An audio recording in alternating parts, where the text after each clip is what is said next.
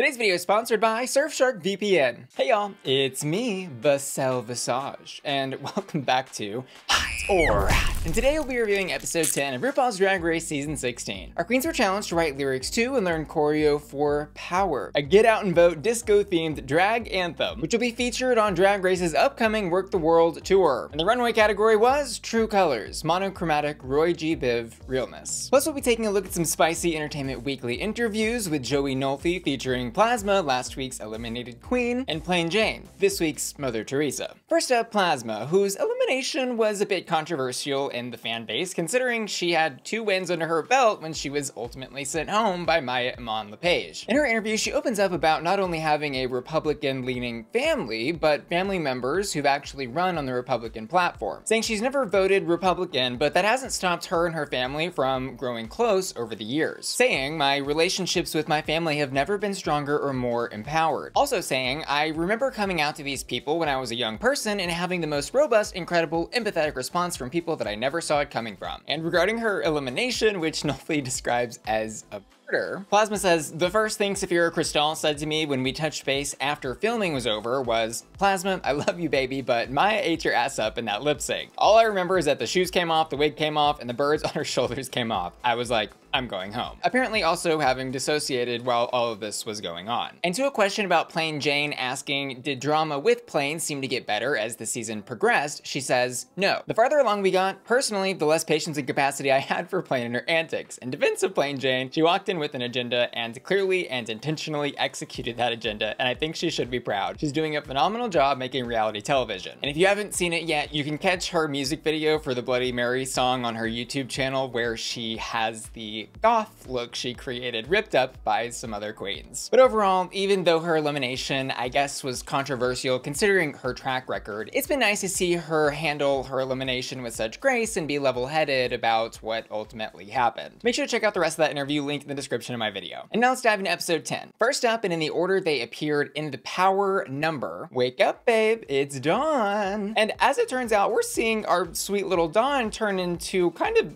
the new villain of the season. It's been funny to watch Plane and Dawn kind of switch villain arcs where we see Plane gradually getting a little more nice and congenial as we progress through the season, and to see Dawn go from being a sweet little angel to whispering evil deeds in Plane Jane's ear this episode, like when she tells her to tell Nymphia that she's gonna give Nymphia her immunity potion, but then not actually do it. In the challenge though, Dawn opens the power number singing, writing up laws will not stop our wild, healing up our inner child. And generally speaking, her verse tends to focus on being who you really are and not letting others stop you from doing that. But I did feel the lyrics in her verse were kind of wordy at times and even unintelligible in parts. And even the people making the captions for this show, I think weren't sure what she said in this one part where she said, who you are cannot be tamed, so bears, so don't bear their shame, which I'm still unclear about. Definitely though some simpler lyrics and clearer enunciation would have gone further for her in this challenge. But it was nice thematically, I think, to see her connect this verse her story and personal journey overcoming her mental health struggles with the help of therapists. And regarding her choreo, I would say she did okay. It was relatively simple compared to some other queens like Mhi'Ya or Sapphira, but we know dancing isn't necessarily her strongest asset, and seeing her stay in her wheelhouse was fine for me in this challenge, and overall I'm gonna give this a warming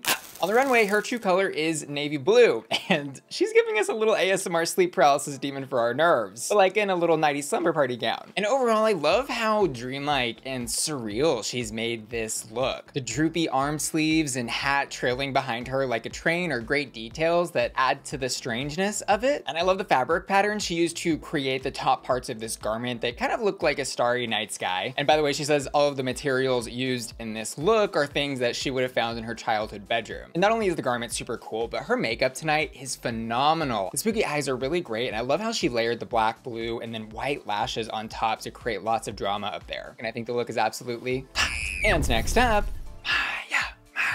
but first I thought I'd let you in on a little secret by answering the number one question I'm seeing in my comments this season. Dear Bussy Queen, where are you watching RuPaul's Drag Race Season 16? The answer, on streaming platforms I already pay for with the help of today's video's sponsor, Surfshark VPN. Cause here's the tea, there's tons of online content like RuPaul's Drag Race that gets geo-restricted by streaming platforms. In the US, for example, it's chocolate. But with the help of Surfshark, I can connect to a virtual private network server in somewhere like Germany. And just like that, I'm streaming season 16 plus Untucked with just one click. I also love using Surfshark because it helps to block ads and trackers. And Surfshark keeps me safe from sneaky snoopers on public Wi-Fi and can even hide my internet traffic from my internet service provider. That's right. Surfshark VPN ensures a high-level AES 256 GCM encryption for all of your internet activities, even walking that duck. And best of all, you can use Surfshark on all of your devices with unlimited device login. Plus, there's no risk in just trying it out because Surfshark offers a 30-day money-back guarantee. So what are you waiting for? Click the link in the description of this video to start downloading Surfshark right now. And make sure to use code BUSSY at checkout to get three additional months of Surfshark for free. Thanks Surfshark for sponsoring today's video. And speaking of good girls gone bad, Miss Mhi'Ya at the beginning of this episode was absolutely not having it with morphine, which we kind of did get some hints at the beginning of this season that these two Miami girls were not besties we'll say, but we haven't gotten an explanation on why that might be. But this episode, they were throwing jabs at each other because they were having the discussion of who would have won the lip sync had the bottom two been Morphine and Mhi'Ya, where Morphine basically says there's no way she would have lost, and Mhi'Ya says, well, your numbers are cute, but you would have lost. Anyways, in the challenge, Mhi'Ya goes second and sings, living in a country where our rights should be equal, just because I'm gay don't make me less equal. And this rhyming equal with equal couplet was something that came up during rehearsals, where we hear some other queens in confessionals talk about how they don't think that's a good idea. Ultimately though, Leland suggests she should just put more emphasis on that second equal, which she does, and rhyming the same word together didn't really matter to me that much. And I think her verse overall came out strong, but I think she could have gone even further with attitude and put some more punch in the other lines. She ends her segment with, don't let them win, let's keep it going, Martin Luther King, I have a dream. And her execution of the choreo in this challenge was phenomenal. I think she was maybe the best in terms of that tonight. And it was also great to see her go the extra mile and live up to her title as the Queen of Flips, where she punctuates the end of her solo segment with a flip. This was hot. And over on the runway, her color is red.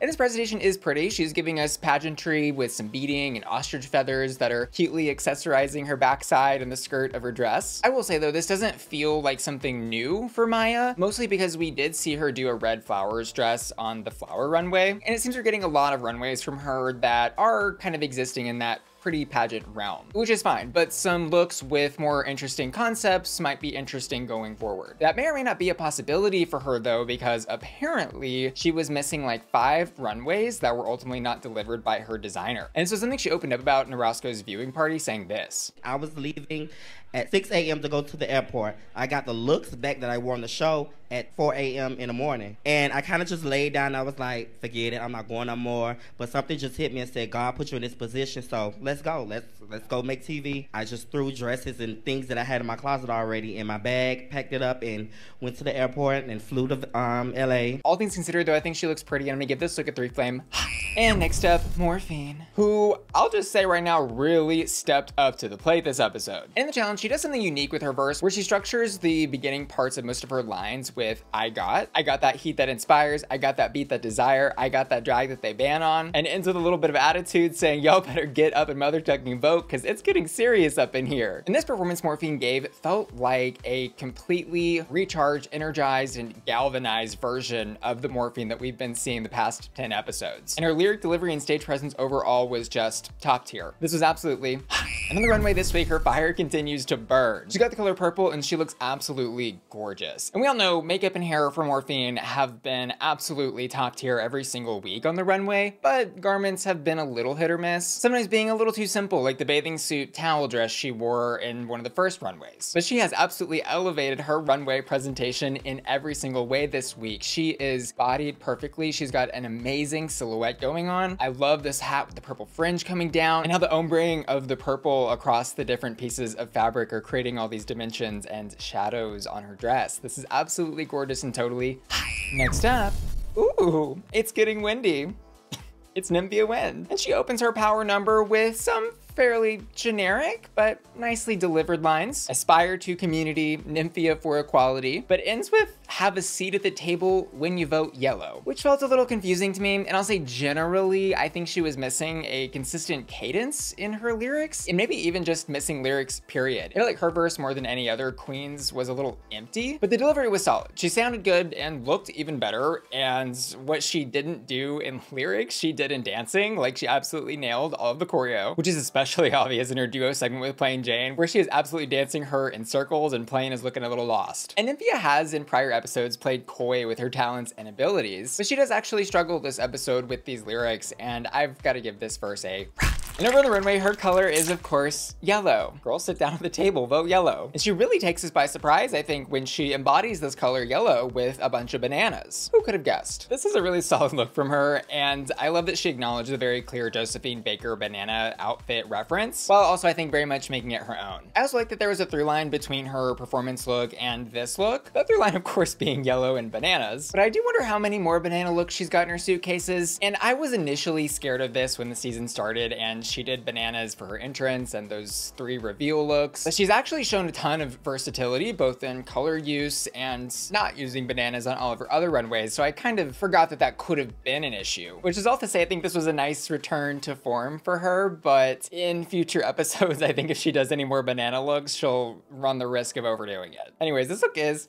And next up, Drag Race's very own reality television mastermind, Plane Jane. And she, in the challenge, opens with, yeah, I've got the power and I'm gonna have to use it. They're coming for our freedom and bitch, I'm gonna lose it. Ending with, tell hate to kick rocks and if you at the polls, you can catch this box. And she had a special overtone in her lyrics that was unique to her tonight in this song about self-empowerment and voting, which I could see maybe somebody rolling their eyes at, but I think it's also been made clear by Plane that she finds a lot of self-empowerment through her identity. And I think in that regard, she certainly gave us one of the most unique verses, plus was able to serve a bit of comedy. It's something no one else did in this challenge. I would actually say her verse is one of the most entertaining, but she struggles tonight with the choreo, mostly. And this is not as noticeable in her solo segment. She does okay there. It's really in, as I highlighted, that duo piece with Nymphia, where she looks kind of lost. And as Michelle calls out, this really was the first time she truly slipped up in a really obvious way. But because her verse was so strong, I'm overall gonna give this award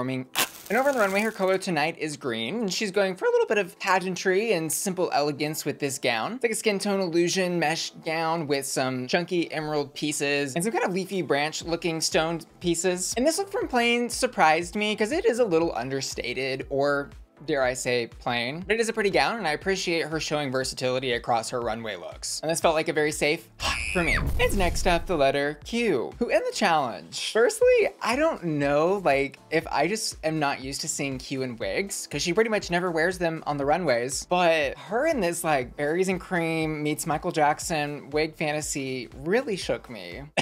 it haunted me, actually, I should say. I was not living for Q in that wig. But we'll brush that aside and look at her verse. She opens with, now we all live in a crazy place. We're not all the same, but we need our space. It sings about keeping her man, saving the kids, and ends with, cast your vote and tell the ones above. Take your power and spread the love. And her delivery is very theatrical and Q-like. And she was successful, I think, in putting a lot of personality into the delivery of her verse. But I do wish she had simplified her verse a bit. It was a little wordy for me and was kind of coming off like a monologue essay or like someone doing slam poetry at a jazz club, but singing. Her dancing was okay. I would say like middle of the pack. And so I guess I'm kind of opposite on how the judges viewed her tonight because they seem to not really like her white girl funk, but loved her look. Overall though, I'd give this a safe three flame. Hee hee. Hot. And on the runway, her color is lavender, and the hat she's wearing with all that fringe beading coming down is really a show-stopping piece. But every other part of this outfit to me is off, and I don't feel the top and pants and hat all work together. It's almost like all those ruffles on the pants are fighting for attention instead of complementing all that cool fringe drama. And something's really odd with the way the top's fitting. Plus, I think without having a headpiece that adds like a foot of height to her, she did look noticeably shorter on this runway, which she could have easily fixed, I think, by letting the hat sit higher on her head. But there's just too many things about this that are off for me, so I'm gonna give it a rock. And finally, yes, we did save the best for last. It's Sapphira Cristál, who closes out this power track singing, I'm an American, bleed red, white, and blue. I got the freedom to love, so much love for you. And ends telling her truth. The truth is, she's got the power. And having watched her do this several times, I just have to say, like, she is such a professional in every single way. Her stage presence is absolutely unmatched, and she can do all of the easy step this, step that choreo, and also integrate fun tricks like splits and such into what she's doing easily. Plus her line delivery perfectly matches the funkiness of the song, and her lyrics strike a perfect balance between simplicity and effectiveness. She was the perfect closer to this performance and nailed it in every single way. This was totally and over on the runway, Oh my god. She is doing the color royal blue and says she's channeling Queen Charlotte. And this look is such a gag. It's jaw dropping, which isn't different for Sapphira because girl, our jaws have been dropping almost every single week with her looks. But the question I keep wondering is how the hell did she get all of this to Drag Race? Like she must have had a Mary Poppins bag or an entire U-Haul deliver all of her drag costumes. This look is not just great because it's filling up the entire stage as she walks across it, but also because it's so elegant beautiful and absolutely embodying royal opulence, like girl Marge Simpson could never. Again, Sapphira's a true professional, and she looks great in Sapphire. This look is hot. And regarding placements, when we get to critiques this week, we're reminded that Plane Jane is still sitting on her immunity potion, but has to use it this episode or it will expire. And she gives us the gag of the season by not using it on herself, but on Nymphia Wind, giving us a little Mother Teresa Queen of Generosity moment. And she may truly have not been very self-aware that she could have very easily been in the bottom this episode, which was obviously such a gag because we as viewers just watched her give arguably one of the weakest performances this week. And I don't think the judges would have had any problem justifying a bottom placement for her. As to why she gave the immunity potion to Nymphia, she gave an explanation in an interview with Joey Nolfi over at Entertainment Weekly saying this. Nymphia expressed to me she was worried she was in the bottom and she didn't feel confident in her performance. Essentially, that made me assume she also didn't do well. This week, it didn't serve me to be so prideful, but I thought Nymphia was in danger, and if there's anything iconic I could do with this immunity potion other than saving myself, I'd rather give it to a friend who feels as though that they need it. And in this grand act of kindness, she completes her villain arc with a benevolent ending and makes great reality TV, as she has been every single episode. And although I'm not sure I could make the choice to give up an immunity potion that could maybe be the only thing that takes me to the final four and then win $200,000, for Plane, it ultimately made sense. She is in this interview very self-aware of the character that she plays when she sits down in front of the camera in confessionals and in Untucked, and is, I'm sure, also very aware of how the fans have treated villains from past seasons. And using this immunity potion on somebody else sort of gives her a get out of jail free card, I think, in the eyes of some fans, while also guaranteeing that if she were to be put in the bottom this episode, she wouldn't have to lip sync against Nymphia, who has already demonstrated this episode can outperform her. She even suggests in this interview that she thought the only other person who might end up in the bottom is Q, someone who's already been in the bottom too, and who is a self-professed not great dancer. Which is all to say, using the immunity potion or not, she likely knew that she was not going to be sent home this episode. But none of that really matters in the end anyways, because the twist of this episode is everybody's safe. Except our top two, Sapphira and Morphine, who I absolutely agree with did the best in this challenge. They really stepped up to the plate and took it all the way home for me. So they lip sync for the win, which I did react to, as well as the best parts of this episode over on my Patreon. And you can watch that exclusive reaction video by clicking the link in the description of my video to join my Patreon. See you there. But let me just say, I'm not the biggest Meghan Trainor fan, and so I was kind of setting myself up to maybe not like this lip sync, but Sapphira found a way to absolutely destroy this. I mean, she added a level of fun and camp to this and made it seem so silly that I loved every second of it. Morphine, though, in this lip sync, eh, uh, got a little lost in the sauce or lost in her dress and then lost in her wig, and she never really recovered from that. And so Sapphira takes her second challenge win, rightly so. Considering my final thoughts on this episode, I will say like this was very plainly a planned non-elimination episode. I just can't imagine a world in which they were going to send someone home on an episode about unity and voting and empowerment. Plus it was clear they set all these queens up for success. The challenge was executed so well across the board. The production value and the actual track phenomenal. And how everything was shot and lit while they were performing was also incredible. I was genuinely excited watching this performance and it made me feel uplifted and energetic. Plus it was the perfect way to, in a US voting year, hopefully energize some people to register to vote and ultimately exercise that right to vote. Make sure you vote. But for real, to all my fellow US citizens, y'all vote. No cap, all facts, no printer, Riz on God, Slay Boots, Yes God Mama, Goon. And for my hottest hots in the challenge and runway this week, I'm gonna give it to Sapphira Cristál. I also asked my patrons to vote on their hottest hots, and this week they've chosen Sapphira Cristál in the challenge and on the runway. And I wanna give an extra special thanks to the sponsor of today's video, Surfshark VPN, who I've trusted for several years now to help me unlock geo-restricted content and keep me safe while browsing online. Don't forget to click my link below to download Surfshark today and use code BUSSY at checkout to get three additional months of Surfshark for free. And finally, I want to give an extra special thank you to Ashley Brungart, Child Free Mateau, Dorothy Hall, Felicia, Laura, Matthew Burns, Stephen Topher, and Will and Tana, who are all supporting me at the Bussy Queen Collectors here over at patreon.com slash bussyqueen. See you later. Love ya. Bye.